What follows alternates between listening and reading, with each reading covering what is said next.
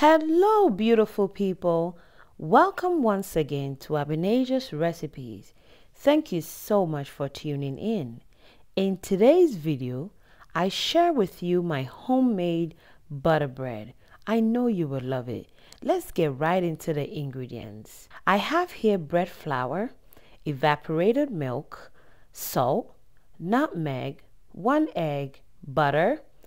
I have my sugar, vanilla extract, two pack of active dry yeast, and I have two cups of water. I've measured six cups of bread flour. I'll go ahead and add my active dry yeast. I'm adding both packets. There's two packets here, and I'll add all of it, and then I'll give it a mix. Once that is mixed, I'll go ahead and add in my sugar, my salt, nutmeg, and then I give it a mix. And that will be all for my dry ingredients. I'll go ahead and set that on the side. Now let's mix our wet ingredients. So in a cup here, I have two cups of water. I'll then add a half a cup of evaporated milk, one egg, one teaspoon of vanilla extract, and then I will give it a mix. That is it for our wet ingredients. All right, so now we've moved over to my stand mixer. I'll go ahead and use my stand mixer to stir my dry ingredients just for about a minute. And then whilst it is stirring, I'll go ahead and gradually add my wet ingredients. I'm not adding everything at once. I'm gradually adding it. And once my wet ingredients is added to my dry ingredients, I'll then wait for everything to mix very well together before I come in with my butter. Now my butter is a room temperature butter. Yes, I made it sit out for it to soften. So you need a softened butter for this recipe. And then I'm gradually adding my butter to my dough. Now it is time to knead my dough, but I am not using my hands today, guys. If you're using your hands to knead the dough, you would have to knead for about 10 to 15 minutes to get that sticky, perfect, and good looking dough. But being that I'm using my stand mixer, I am mixing it for about five to seven minutes. Have you subscribed yet? If not, please subscribe, like, and comment. Hit that notification so anytime I upload, you will be notified. And a warm welcome to my new subscribers. I thank you all and I welcome you to the family. God bless you. All right, so my dough is very well mixed now, and I mixed it for about seven minutes.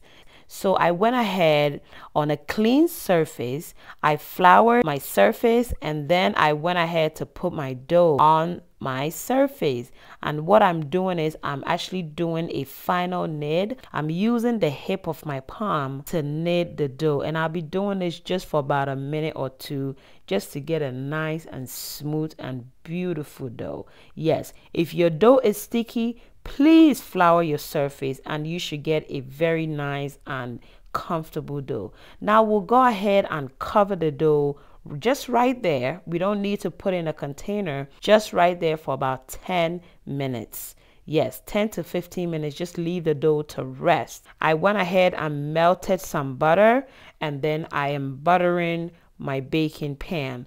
And then I'll sprinkle a little bit of my bread flour inside of my baking pan just to make it easy for me to take out the bread when it is done baking. This step is very important. All right, and then we'll make sure to spread everything out very nicely. So whilst your dough is resting for 10 to 15 minutes, it is best to take care of your baking pan. Yes, and our dough has rested for 15 minutes. So I'll then go ahead and flour it a little bit more Yes, just on top of it. And then we will just knit it just for about a minute again. We use the hip of the palm to knit. If you don't have a bread mixer, this is how you be knitting until you get a nice and smooth dough. Now I will use my pizza cutter to cut my dough into three pieces.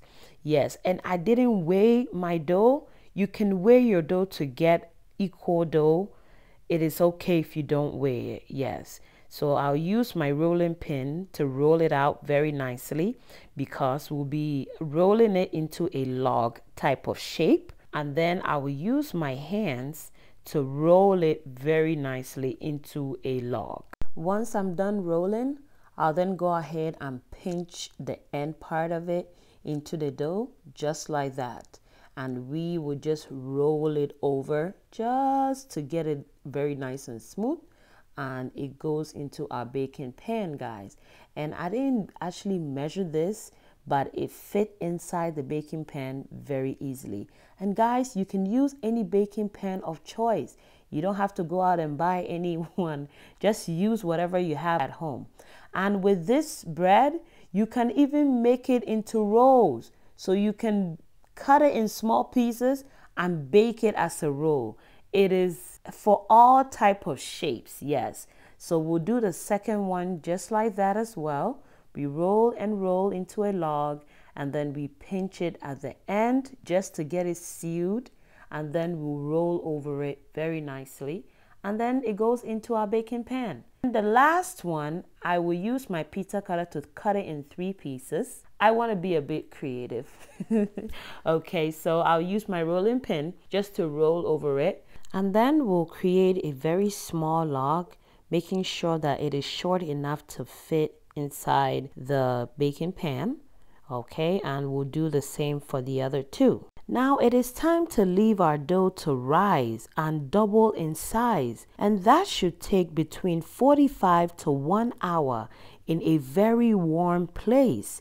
And my oven is the warmest place in the house. Guys, I'm not gonna turn my oven on. It will just be in the oven for 45 to 1 hour to rise. Do not turn your oven on for the rising process. Okay, so I'll cover with aluminum foil to let that rise or you can cover with a dumb cloth. So it's been 45 to 1 hour and my dough has risen very beautifully and it rose very fast. Look at how amazing it looks. And my oven was preheated at 325 degrees and I baked my bread for 25 to 35 minutes. And guys, I present to you my homemade butter bread. Looking delicious and amazing and you can also insert a toothpick inside your bread. And when it comes out clean that means your bread is well baked. And please remove your bread as soon as it comes out from the baking pan to prevent sweating. Yes you don't want any soggy fresh bread my bread has cooled down, guys, so I'm ready to show you guys the inside of my butter bread. This is my homemade recipe, guys, and I hope you try it and give me a feedback. It's very easy, it's very simple, and look at how beautiful and amazing the bread is looking. Look at how soft and fluffy the inside looks. Guys, I'm so happy with how this bread came out.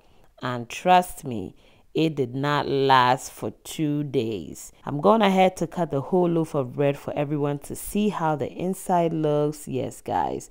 And that looks awesome and amazing. And look at how the slice also looks. It looks beautiful and perfect. And then now look at how the inside is. So, so, so, so good. And this is my homemade butter bread. Guys, thank you so much for tuning in. Thank you for staying until this time.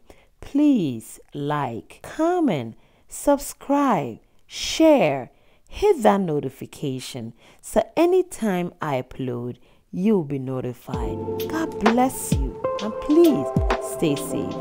Bye, guys.